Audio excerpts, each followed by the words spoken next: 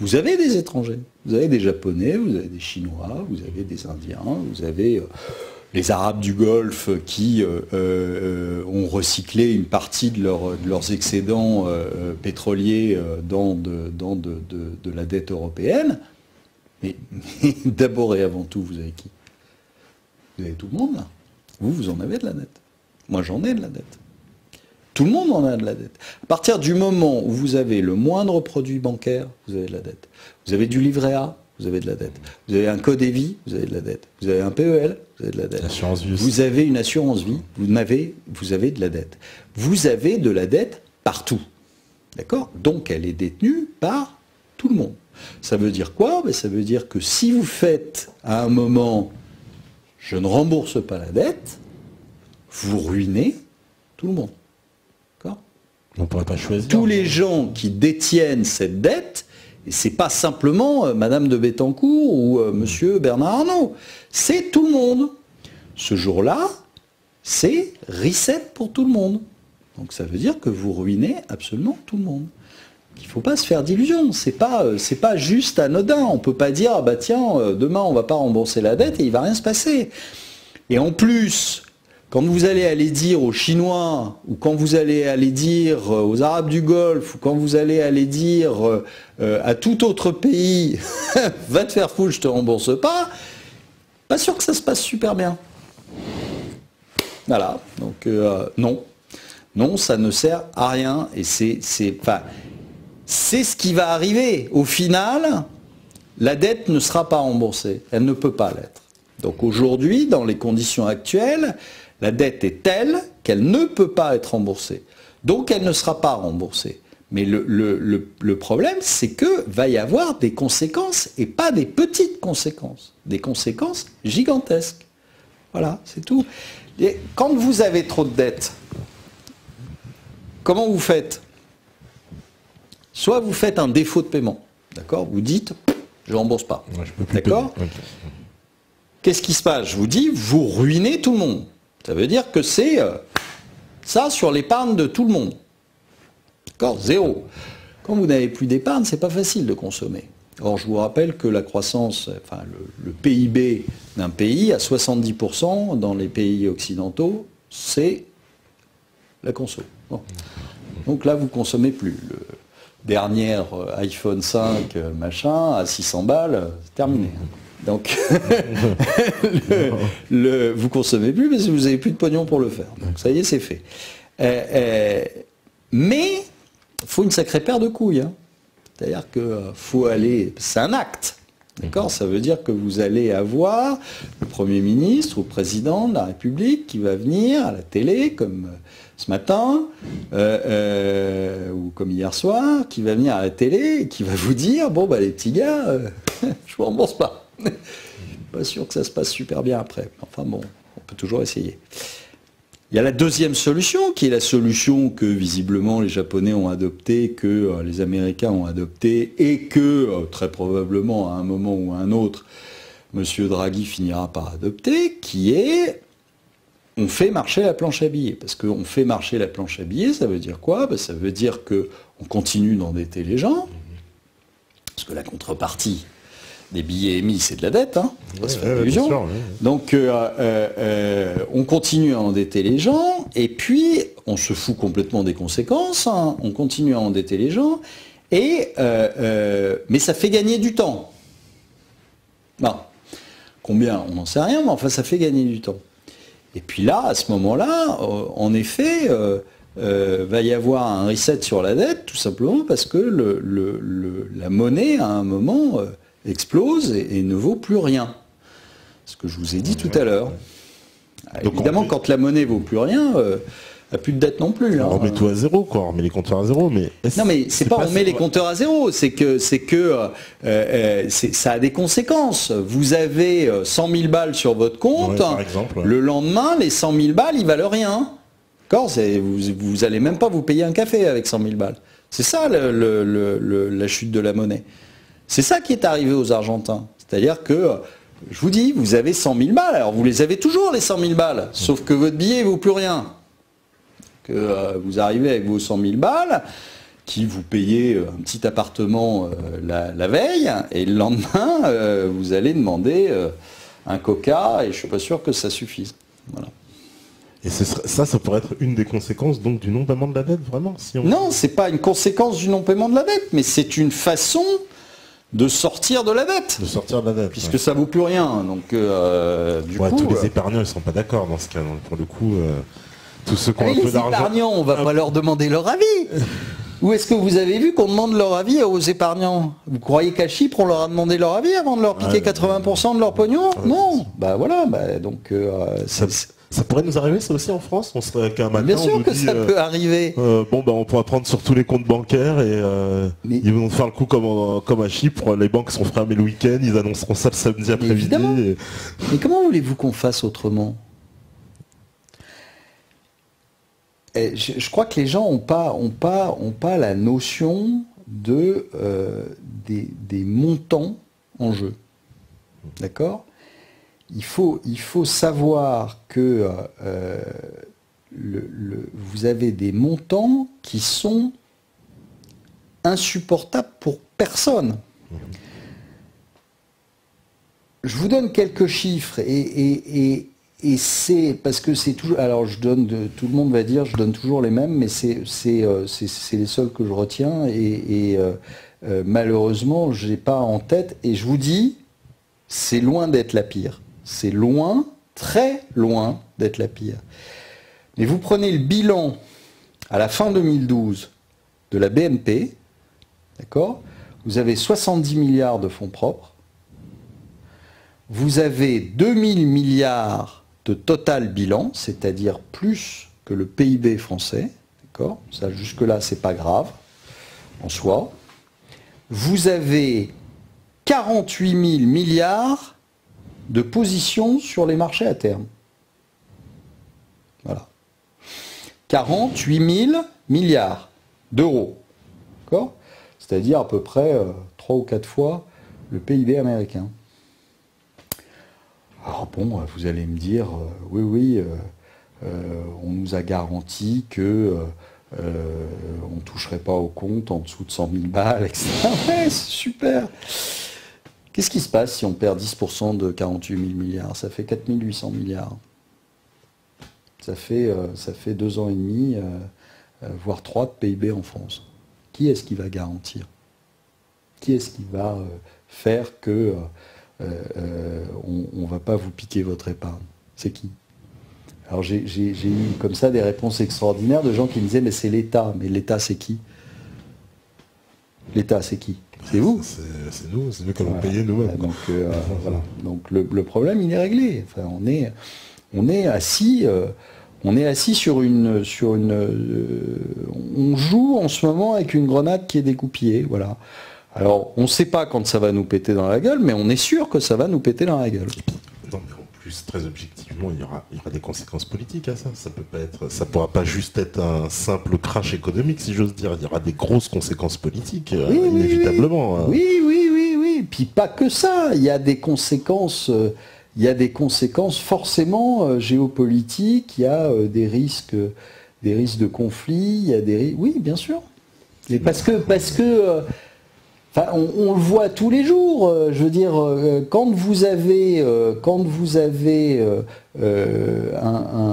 une, baisse de la croissance, quand vous avez un espoir d'une croissance très très faible, etc., mmh. qu'est-ce que vous faites? Bah, Vous allez vous servir chez le voisin.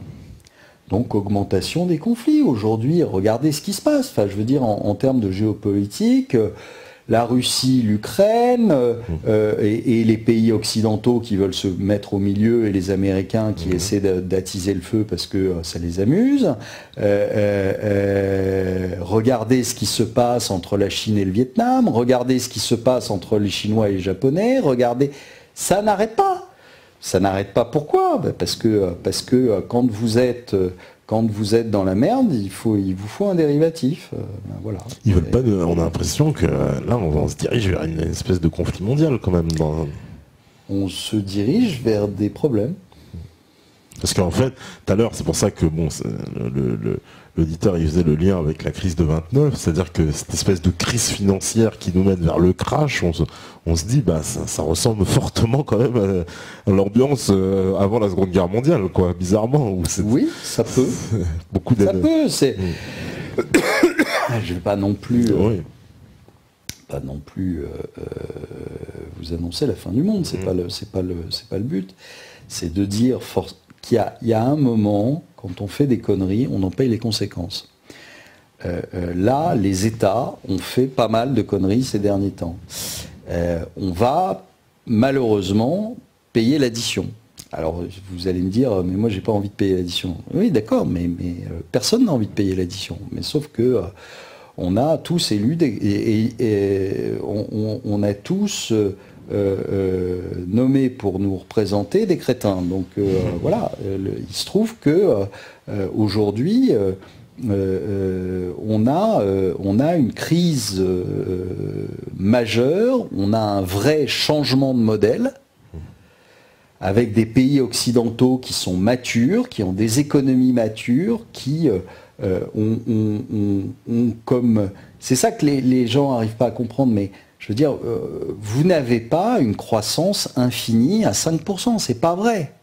Quand, quand vous êtes, quand vous, vous avez des, des, périodes dans les cycles économiques exactement comme vous avez des périodes dans tout système.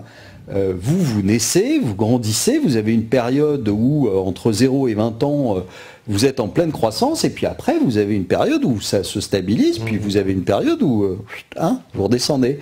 Bon, bah, euh, c'est la même chose pour une économie, c'est-à-dire que quand euh, vous arrivez à des économies qui sont des économies matures, bah, vous avez forcément moins de croissance. Euh, euh, et là, la croissance est quand même en, plus en train de se déplacer de, ces vieux pays comme la France ou, les pays occidentaux à euh, des, des, pays asiatiques, mmh. des... euh, ça se fait pas, ça se fera pas en ligne droite non plus. Ça se, ça se fera avec des, grosses, des grosses, des grosses gamelles. Euh, regardez ce qui se passe en Chine, c'est pas la fête. Hein. Donc, mais ça n'empêche que le, modèle est en train de complètement changer. Or, le problème, si vous voulez, c'est qu'il y a un moment où il va falloir accepter, et c'est ça qui va être compliqué, parce que c'est ça qu'évidemment n'ont pas envie de dire les politiques, mais, mais Qu'est-ce qui s'est passé? Vous avez, euh, les, pays occidentaux, en gros, ils ont fait leur, leur maximum de croissance en 1950-1960, à peu près. Depuis, il y a un économiste américain qui a calculé qu'on avait perdu 1% de croissance tous les 10 ans. Bon, alors vous faites euh, 1950 moins 2010, euh, ça fait, euh, ça fait 7, euh, 7 dizaines, et cette dizaine, comme vous partez de 7%, 7 moins 7, ça fait 0. Bon, on va être gentil, on va, on va dire que la croissance aujourd'hui, elle est entre 0 et 1. Bon. Quand vous avez une croissance entre 0 et 1, on va dire même on va, affiner le truc, on a une croissance de 0,7. Vous partez de 7, vous avez une croissance qui a été divisée par 10. Or, il se trouve que si vous regardez bien, tout ce qui a été euh, le système de euh, chômage, le système des, euh, des cotisations sociales, maladies, machin, etc., tout ça, ça a été fait dans les années 50-60, donc quand on avait une croissance qui était de 7%. Et aujourd'hui, on essaie de vous faire croire que en gagnant 10 fois moins, on va vivre avec le même train de vie. C'est juste pas possible. Si demain vous passez d'un salaire de 10 000 euros par mois à un salaire de 1000 euros par mois, est-ce que vous pensez que vous allez vivre de la même façon? Non. C'est sûr, non. Bon, eh bien, c'est la même chose pour un pays. Or, le problème, c'est que personne n'a le courage de le dire. Voilà. Donc, euh, euh, euh, adieu, vous, vache cochon. c'est ça le problème. C'est que malheureusement, il y a un moment où il va falloir que on explique aux gens qu'on ne peut pas vivre avec le même train de vie quand on a 7% de croissance et quand on, quand on en a 0,7. C'est totalement illusoire. Et ça, malheureusement, quand les gens vont s'en apercevoir, ça risque de leur faire un petit choc. Et est-ce qu'il est vrai que l'essentiel de, la, dette française, elle va euh, pour le salaire des fonctionnaires? Est-ce que c'est oui. Donc Elle va pour le salaire des fonctionnaires, euh, euh, pour le, fonctionnement de, l'État en général. C'est-à-dire qu'elle vient aussi payer les cotisations, enfin l'assurance chômage, elle va payer voilà, elle va payer euh, euh, plein de choses, elle va payer le service de la dette aussi, c'est-à-dire elle va payer les intérêts de la dette. Donc on emprunte pour payer des intérêts de mais bien sûr. C'est complètement... Bah oui, mais c'est comme ça, euh, si vous voulez, le, truc, est, c'est le serpent qui se mord la queue en permanence, donc ça veut dire quoi? Ça veut dire que il y a un truc qui est très simple, hein. vous faites le calcul, alors je, fais un calcul grossier, mais c'est quand, même, quand même la réalité. Vous faites un calcul où, vous dites en gros, euh, euh, l'État français aujourd'hui, il n'est pas endetté, comme on le dit, à 95% ou euh, voire à, tout juste 100. L'État français, il est endetté à 137%. D'accord? Si vous rajoutez la dette des régions, etc., c'est 137%. Bon, c'est quand même une dette d'État. Hein. Mmh. Quelqu'un la, paye et c'est nous. Bon. Donc c'est 137% de dette. 137% de dette, on va faire un, taux d'intérêt euh, à 3% en moyenne, on va dire. Alors 137, on va dire 140 pour, arrondir, 140 x 3, ça fait 4,2. Euh, vous êtes à 4,2%. Ça veut dire quoi? Ça veut dire que si vous ne faites pas 4,2% de croissance, vous ne payez pas les intérêts de la dette sans même parler de déficit budgétaire. Imaginons que vous soyez à l'équilibre. C'est jamais arrivé depuis 70 et des brouettes, mais bon, on peut imaginer que tout d'un coup, il y a un miracle et que euh, il n'y ait, plus de déficit budgétaire. Voilà. Euh, euh, il faut, pour payer les intérêts de la dette, il faut 4,2%. Non. Je vous ai dit tout à l'heure que au grand maximum, on aurait 1% de croissance. Ça veut dire quoi? Ben, Ça veut dire que euh, vous allez être obligé d'emprunter pour payer les intérêts de la dette, pas pour, pas pour rembourser de la dette, pour juste payer les intérêts de la dette annuelle. C'est tout. Et évidemment, euh, ça coince un peu, quoi. Donc ça veut dire que votre dette, euh, elle est à 137% aujourd'hui, elle sera à 140 euh, l'année prochaine, elle sera à 142 ou 43 l'année suivante, etc. Et que ça n'a pas de fin. mais c'est jusqu'à quand? Parce que c'est pas infini. Tout à l'heure, on nous a posé la question, on nous a dit, oui, justement, est-ce que la dette américaine, elle est infinie finalement parce que chaque année ils nous font le cinéma, euh, le mélodrame de ceux qui veulent pas voter parce qu'il faut augmenter. Elle est, elle est, infinie, sauf que elle, elle, elle pèse fortement sur, sur la croissance euh, américaine et euh, elle est infinie tant que on accepte de lui prêter au taux actuel. Voilà. Euh, euh, et, tant que euh, les gens ne s'aperçoivent pas que quand on leur donne du dollar, qu'on leur donne des billets de Monopoly. Tout va bien. Donc, tout le, le jour où les gens commencent à s'en apercevoir, et on, commence à avoir le début justement d'une prise de conscience, puisque pourquoi est-ce que euh, les, les, Russes font ça avec les Chinois, pourquoi est-ce que euh, euh, les Japonais font ça avec les Chinois, pourquoi est-ce que on essaie de se passer de plus en plus du, dollar, pourquoi est-ce que les Chinois n'achètent plus de trésoreries américaines mais préfèrent s'acheter de l'or à la Banque centrale, tout simplement parce qu'ils n'ont plus envie d'avoir des trésoreries américaines dont ils savent pertinemment qu'ils ne valent rien. Voilà. Donc, euh, bon. C'est tout. Donc, ils, en ont, euh, ils en ont pour 1300 milliards en plus. Mais oui, mais ils en ont beaucoup. Euh, mais comme les Japonais en ont beaucoup aussi. Mais c'est pour ça que c'est amusant quand vous avez des gens qui vous disent Oh oui, mais enfin bon, les Japonais, la dette est détenue par les Japonais eux-mêmes, donc euh, qu'est-ce qu'on s'en fout? Ben on s'en fout, on s'en fout, bien sûr.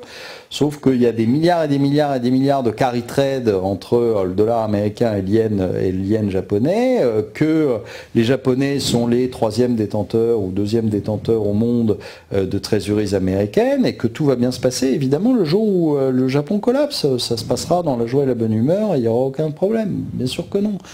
Euh, il va y avoir des conséquences et des conséquences euh, terribles. C'est tout. On a laissé la finance faire n'importe quoi. À partir du moment où on laisse la finance faire n'importe quoi, il ne faut pas s'étonner après qu'il y ait un moment où euh, on se fasse très très mal. C'est tout. Euh, on- je vous dis, on laisse des gauches jouer avec une grenade dégoupillée. Bon, bah, il faut pas s'étonner le jour, où elle va, va exploser. elle va leur péter dans la gueule. bah, voilà. Et puis là, on dira, oh, bah, alors là, on pouvait pas savoir. Si, si, on peut savoir. euh, C'est très clair. Euh, Il y a, il y a- il y a un moment où, euh, malheureusement, les conséquences vont être euh, difficiles. Parce que euh, parce qu'on fait pas ça. Enfin, je veux dire, on a, on a, on a, on a accouché d'un truc qui est euh, immaîtrisable, immaîtrisable. Vous êtes, euh, vous êtes, euh, vous faites, vous faites, vous faites le PIB mondial. Le PIB mondial, si mes souvenirs sont bons, alors ça devait être euh, l'année dernière, le PIB mondial était de 67 000 milliards de dollars sur l'année. D'accord? Le montant des dérivés de crédit, de change, euh, sur les matières premières, etc., le montant des, instruments financiers, euh, le montant des dérivés sur toute la planète euh, euh, va, a atteint au mois d'avril ou au mois de mai 1 million, 1 million de milliards euh, annuels. Donc ça veut dire quoi? Ça veut dire que c'est 15 fois plus que le PIB réel. Comment voulez-vous que ça tienne? Ça ne peut pas tenir. Alors je peux vous le faire aussi, euh, si si, euh, y a des, des fans de statistiques, on peut euh, aussi euh, vous faire ça par jour. Ça veut dire que vous avez en gros euh, 80 milliards par jour de dollars d'échanges, mais, mais tous les échanges, c'est-à-dire ça, le- vous sortez d'ici, vous allez vous acheter un café, c'est un, c'est une transaction. Donc évidemment, sur ces 80 milliards de dollars quotidiens, tout n'est pas amené à être couvert sur l'échange. Vous allez boire votre café, en général, vous ne vendez pas du dollar ou vous ne vendez pas de l'euro pour, pour vous couvrir. Donc, euh, mais imaginons, on fait un grand rêve, euh, imaginons que ces 80 milliards de dollars doivent être couverts par des mécanismes de change, de, transactions sur, euh, sur le forex euh, mondial eh bien, vous auriez au grand maximum 80 milliards de dollars par jour de transactions sur les dérivés de devises. Sauf que pas de bol, il y a en gros 7 000 à 8 000 milliards par jour. Ça veut dire 100 fois plus. Donc évidemment, ça veut dire quoi? Ben, Ça veut dire qu'on a accouché de systèmes qui sont, euh, qui sont pas là pour faire de la couverture ou quoi que ce soit, qui sont là juste un énorme jeu de casino pour faire mumuse et pour que les banques euh, euh, fassent du pognon. C'est tout. Mais avec un risque qui est évidemment gigantesque. Voilà. Et donc, euh, il y a un moment ou un autre, quand vous avez ce genre de risque, où vous savez pertinemment qu'il va y avoir un accident. Voilà, c'est tout. Euh, alors après, euh, on peut toujours dire, euh, bah non, ça se passera pas de mon vivant. Oui, d'accord, c'est possible. Mais il y a quand même de grandes chances pour que ça se passe de votre vivant et que ça se passe très très mal. Eh ben, écoutez, on va faire une petite pause. La régie est calée, j'imagine. Voilà, donc on fait une petite pause et puis on revient juste après. Donc c'est la libre antenne. À vous, la régie. Voilà, donc de retour euh, après cette petite pause. Et euh, donc, euh, pour, pour revenir, donc dans le, il y a pas mal de questions sur, sur le chat où on nous demande est-ce que finalement c'est le, retour au standard or serait souhaitable? Est-ce que c'est la meilleure solution comme justement on fait référence à Antal Fekete, je ne sais pas si vous mm. connaissez, voilà, qui, prône le retour à ce standard or je ne suis pas sûr que euh, ce soit jouable et que ce soit faisable. Euh, je m'explique. Que euh, on retourne à une. Qu'on change le système monétaire, oui. Que on ait une pure une pure euh, indexation à l'or, euh, je ne suis pas sûr que ce soit euh, la meilleure des solutions. Et je pense que aujourd'hui, pour le développement du commerce international, il serait plus, serait mieux de diversifier, de faire un panier, si vous voulez, où il n'y aurait pas que de l'or. Voilà. Alors, je ne sais pas quelle est la, solution euh, la meilleure.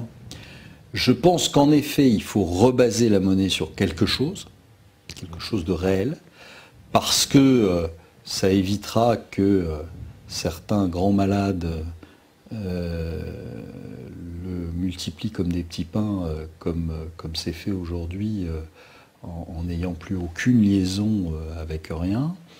Donc euh, euh, ça, je, suis, euh, je, suis, pour. en revanche, est-ce que ça ne doit être rebasé que sur de l'or?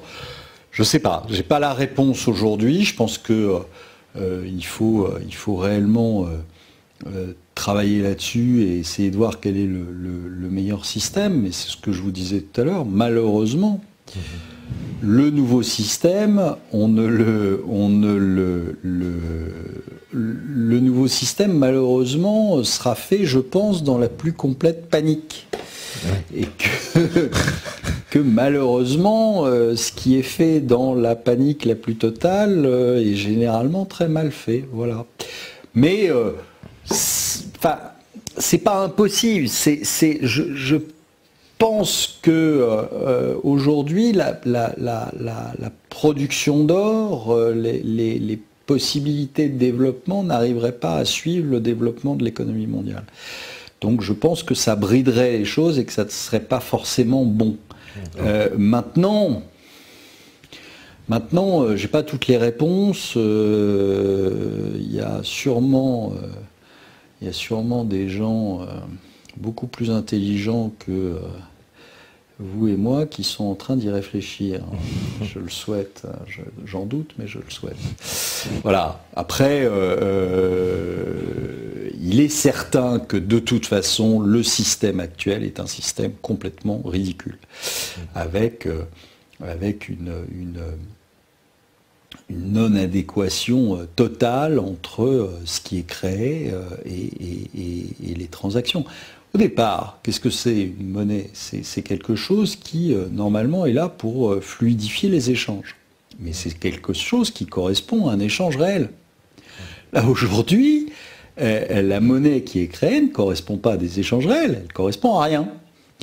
Donc, forcément, à un moment ou à un autre, le système en, subit les conséquences. Donc, en effet, rebaser quelque chose sur sur un étalon or ou sur euh, un, panier de matières premières ou sur euh, meilleure répartition des choses avec, avec et empêcher surtout que des manipulations sur cette monnaie soient faites par l'intermédiaire de la planche à billets, etc.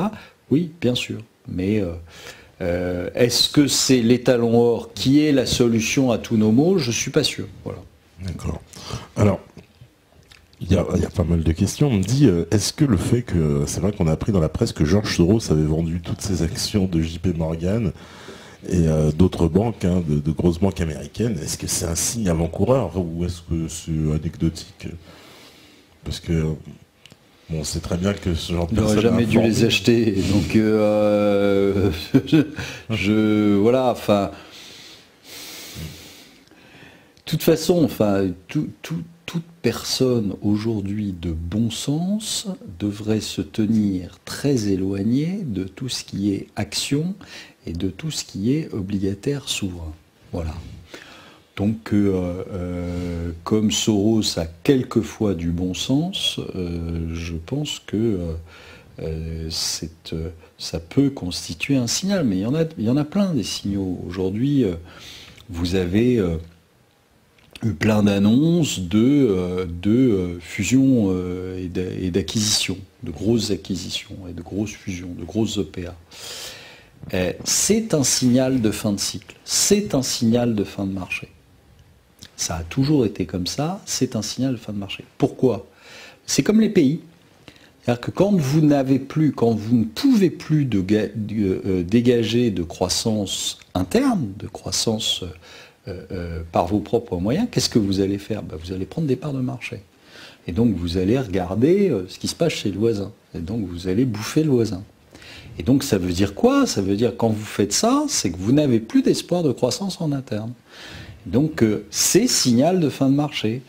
Mais euh, voilà, vous en avez plein d'autres. Aujourd'hui, vous avez des mouvements sur les marchés où vous avez les institutionnels qui se barrent et les privés qui rentrent. Là, ça marche à tous les coups aussi, c'est-à-dire c'est signal de fin de marché. On va s'en prendre une et on va s'en prendre une très probablement assez rapidement. Voilà, alors après, euh, euh, oui, le fait que Soros se barre, mais le fait que les insiders en général, ce qu'on appelle les insiders, c'est-à-dire les gens au courant, se, sortent des marchés, c'est une réalité.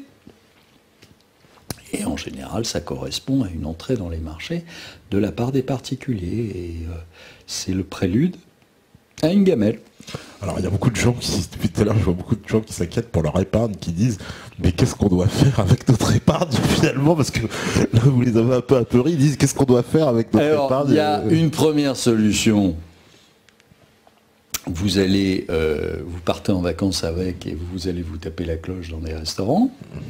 C'est une, comme ça, c'est au moins quelque chose que euh, personne ne pourra vous piquer. Donc, euh, ça peut être une solution. Euh, non, plus sérieusement, il, faut réellement aujourd'hui se, méfier et savoir ce que, comment vous êtes placé. C'est-à-dire qu'aujourd'hui, vous êtes placé, un, dans des assurances qui sont des, des, des, produits et qui sont des, contenants à risque, d'accord? Vous êtes placé dans des banques où je vous ai dit il y a un effet de levier gigantesque, donc vous savez qu'un jour ou l'autre ça va péter. Euh, euh, et donc vous êtes placé pour l'instant dans des contenants qui sont des contenants excessivement dangereux.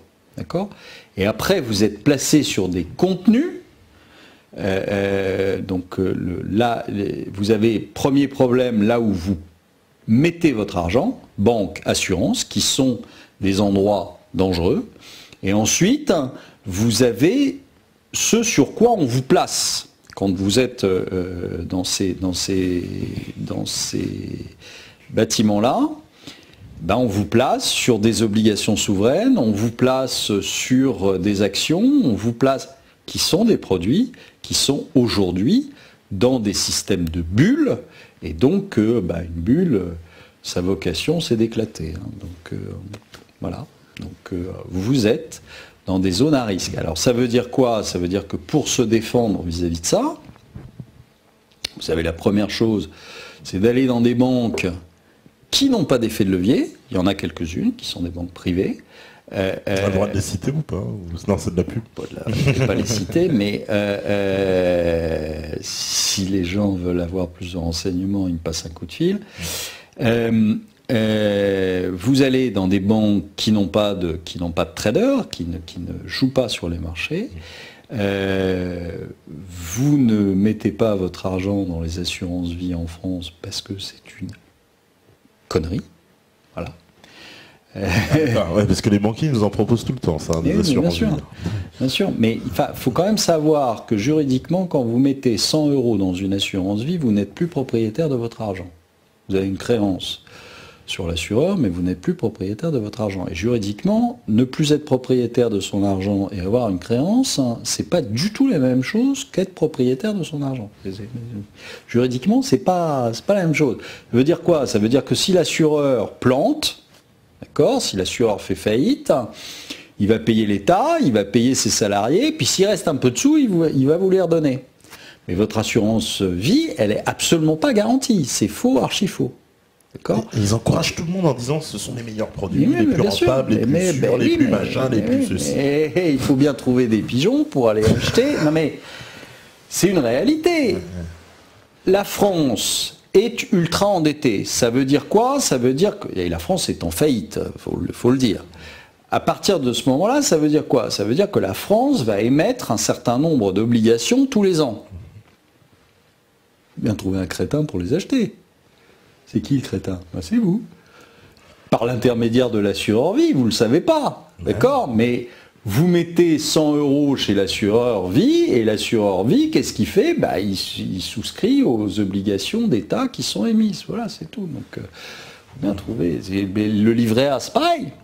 Livret A, pourquoi est-ce qu'on a remonté les plafonds du livret A? C'est pour que vous alliez mettre des sous dedans. Ouais. Mais c'est pas pour vous donner un 25%. C'est pas, c'est pas une, une association de bienfaisance, l'État. C'est tout simplement parce qu'il avait des obligues à placer, qu'il fallait bien qu'il y ait des gens pour les acheter. Donc comme ça vous viendrait pas à l'idée de les acheter euh, naturellement, bah, on vous le fait par l'intermédiaire du A, c'est parfait. Il faut, faut quand même vous rendre compte que vous êtes, enfin, vous êtes là pour vous faire tondre. Vous n'êtes pas là pour autre chose. D'accord? Donc vous n'êtes pas là pour gagner de l'argent. On ne vous fait pas gagner de l'argent. On est là pour vous tondre. On vous tond. Et pour vous tondre, il faut éviter quand même de vous raconter euh, euh, toute la messe, parce que sinon, euh, ça va, vous allez avoir la trouille. Et donc, vous n'allez pas. Un mouton qui bouge, c'est vachement compliqué à tondre. D'accord? Donc, il faut que vous vous teniez au calme. Il faut que vous teniez tranquille. Bah, pour vous tenir tranquille, on vous raconte une belle histoire en vous disant c'est le meilleur placement, c'est machin, etc. Comme ça, vous bougez plus. Et comme ça, on peut passer la tondeuse beaucoup plus facilement. Voilà, c'est tout. Donc, euh, euh, c'est, c'est, euh, vous êtes sur des produits extrêmement dangereux et, et on vous dira, vous verrez que ça, ça marche à tous les coups. hein. On vous dira, monsieur, comment vouliez-vous qu'on sache que les bourses allaient s'écrouler? Vous savez pas, nous. Voilà. Ah, Vous êtes ruiné? Ah, bah oui, mais ça, c'est pas mon problème. hein. Comme ça que ça va se passer. Ça va se passer très bien. hein. Ouais, parce que ouais, ça, parce que ça c'est vraiment le, le, c'est même un produit phare, hein, le produit d'assurance vie, je crois, c'est le produit numéro un hein, dans les produits. Bien sûr. c'est un comble. Non mais c'est, Mais non, même- mais c'est pas un comble. Enfin, faut, faut ouvrir Ouais. les yeux. Faut savoir comment ça fonctionne un peu. Faut, faut, faut se renseigner. Euh, euh, je veux dire, euh, vous n'allez pas me dire que euh, qu'à votre âge, euh, euh, vous croyez toujours au Père Noël? Ouais bah non. Bon, bah voilà. Ah bah je vais pas euh, faire comme les euh, vos collègues à BFM, vous leur avez assez dit de plus croire au Père Noël. c'est- vrai. Il y a, il y a un moment où il faut, euh, il faut être. Ah, il y a un problème de micro, il me semble, c'est ça qu'on me dit? Le téléphone dans la. Ah, c'est le téléphone qui fait du. D'accord. Euh, Ok, super. Non, il y a, y a- y a un moment où euh, euh, il y a un moment où il faut, il faut être réaliste. Il faut essayer de comprendre un petit peu les mécanismes. Il faut essayer de comprendre ce qui se passe. Aujourd'hui, c'est vrai que, que en France, euh, les gens euh, ont, ont rarement une, une, une culture économique très étendue, mais faut, après, il faut juste un tout petit peu de bon sens. Euh, euh, quand, euh, quand vous êtes euh, euh, dans, un, dans un pays qui est euh, en ruine, qui est en faillite, à votre avis, où est-ce que l'État va aller chercher de l'argent? Il va aller chercher de l'argent là où il y en a. C'est la première chose. où est-ce qu'il y a de l'argent en France?